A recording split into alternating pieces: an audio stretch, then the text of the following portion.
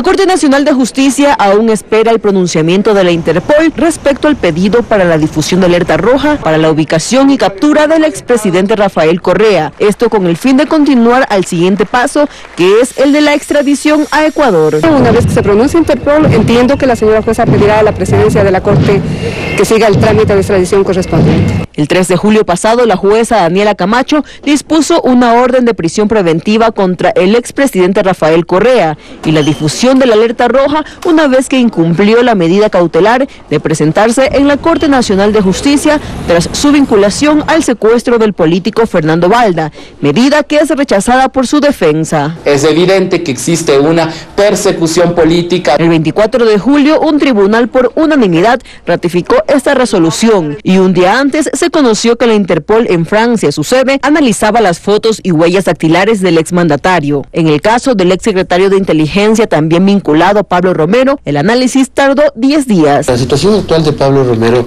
es que él ha sido renovada su permanencia en, en España de manera legal. La Corte Especial de España tiene que resolver sobre la base de las pruebas que pudieron aportar. En el caso Balda, este miércoles se resolverá el pedido de recusación a la jueza Daniela Camacho y un mes después se dará la audiencia preparatoria de juicio.